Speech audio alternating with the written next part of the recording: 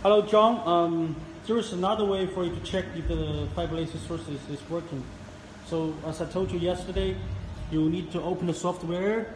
See, this is software.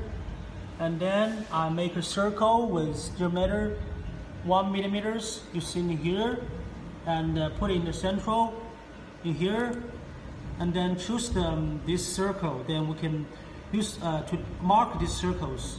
You know, um, here you choose continuous part and uh, mark selected. These two sections have been selected. Then you click uh, mark.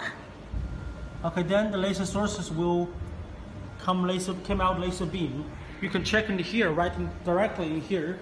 You see, this is uh, um, and can you can put your beam checkers with uh, white painted areas in here. You see here, white painting areas. Here directly, you see there is a green spot from fiber laser sources. You see, it means this laser sources is working. Okay, but when you uh, test these fiber laser sources, you need to make sure the laser sources are well connected to the power 24 V uh, DC power supply and uh, the 25 pin signal cables is well connected between the control board and the fiber laser sources.